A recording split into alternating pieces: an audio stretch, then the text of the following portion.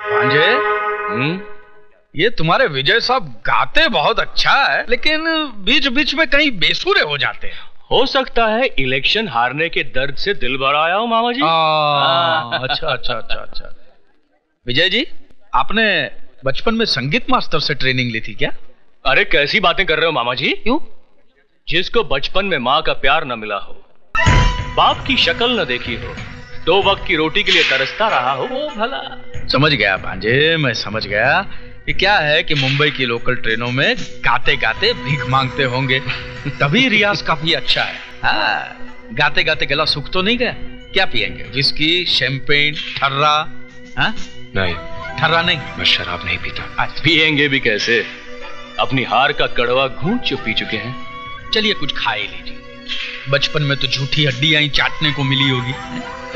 अरे मामा जी हमने तो बाहर बोर्ड भी नहीं लगाया। क्या? कि भिखारियों और कुत्तों को अंदर आना मना है। अरे।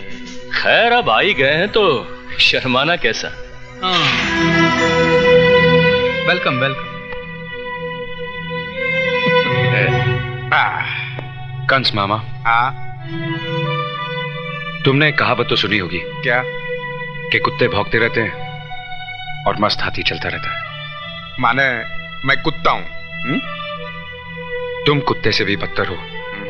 वरना अपनी बहन के दरवाजे पर बैठकर उसके घर का जूठन नहीं खाते। बांजे ये सुनो। क्या हुआ मामा? और तुम सुनो मामा के भांजे। ये जो भिखारियों की तरह हाथ में कटोरा लेके खड़े हो इसमें पड़ा हुआ खाना मेरे पैसों का है। ये जश्न ज़रूर तुम्हारे घर में मनाया जा रहा है लेकिन इसका खर्च मैंने दिया है।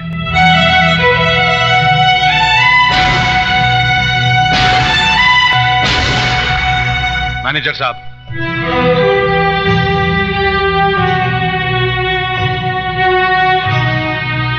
ये देखो, और खुद फैसला करो कि झूठी हड्डियाँ कौन चाट रहा